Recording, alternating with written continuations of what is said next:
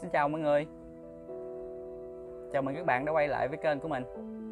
Hôm nay à, mình thấy Kim Đồng phát hành tập 2 bộ này thì Mình mới nhớ ra là mình chưa làm clip.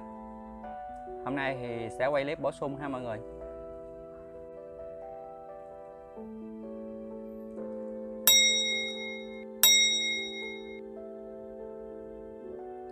Bộ này thì không có bọc siêu bên ngoài nha mọi người.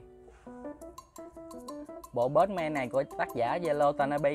Đây là tác giả vẽ bộ kết giới sư, Rất nổi tiếng ở Việt Nam, Đã tái bản hay ba lần rồi.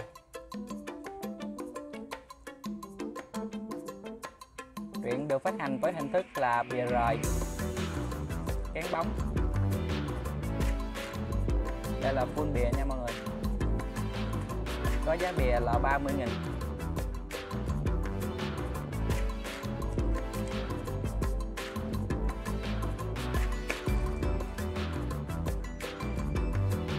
Là bìa keo bên trong full màu đen.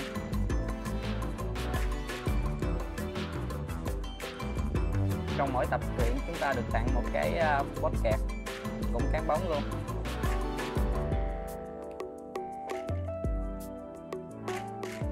Bóp kẹt này thì cổ khổ A6 ha mọi người?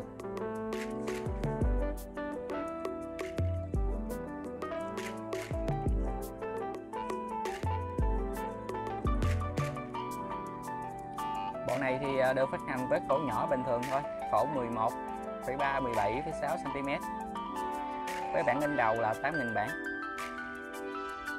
Ở thời điểm hiện tại thì à, ở bên Nhật Bản bộ này đã hoàn thành rồi, trọn bộ nó có 16 tập. Bộ này được phát hành với hình thức bình thường. Không có nhiều điều để nói cho nên mình chỉ à, lướt nhanh qua vậy thôi ha mọi người. Hẹn gặp lại mọi người ở clip tiếp theo. Chúc tất cả có một ngày vui vẻ nha.